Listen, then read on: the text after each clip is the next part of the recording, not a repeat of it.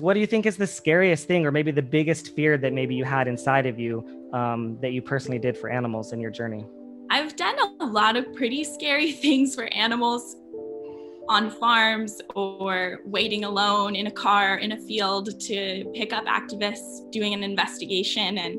in the middle of the night or almost getting caught. Like those kinds of things obviously jump to my mind first when I think about what scary things I've done for animals because it is scary to know you might face violence, you might face legal repercussions, you might not get a call from that person who you're supposed to pick up and be waiting in anticipation to know what's happening there.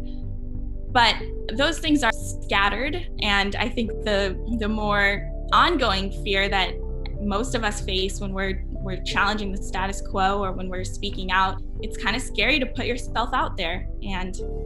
to be a leader, to be a change maker, and just to put yourself really out there on the line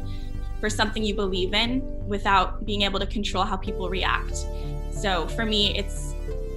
even doing social media videos, it's a little bit scary to think how's this video going to be perceived? Or making a decision in the dxe community in berkeley wondering how's the rest of the community going to perceive that? You know i think we have to do things we have to keep trying things but it, it's scary to know that uh, there's a lot of pressure and there's a lot of people watching and how's this going to be perceived? So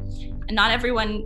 not everyone becomes an activist, not everyone challenges the status quo, but the more that we do it, the more that we normalize that and the more we put ourselves out there as an example, I think we make it easier for everyone else who who's struggling with that to also step up and speak out and be different. Time for us as a people to start making some changes. Let's change the way we eat, let's change the way we live, and let's change the way we treat each other. You see, the old way wasn't working, so it's on us to do what we gotta